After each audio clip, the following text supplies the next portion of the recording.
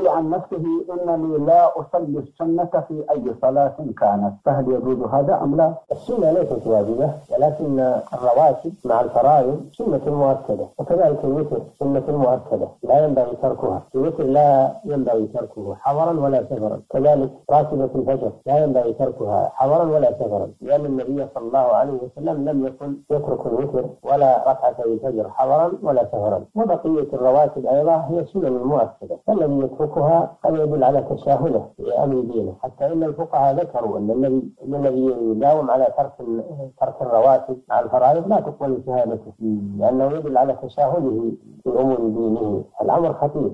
فعليك أن تحافظ على هذه الرواتب. إلا في حالة السفر إذا كنت تقصر الصلاة فإنك لا تصلي هذه الرواتب إلا راتبة الفجر فقط. لأن النبي صلى الله عليه وسلم لم يكن يصلي هذه الرواتب في السفر ما عدا راتبة الفجر. نعم.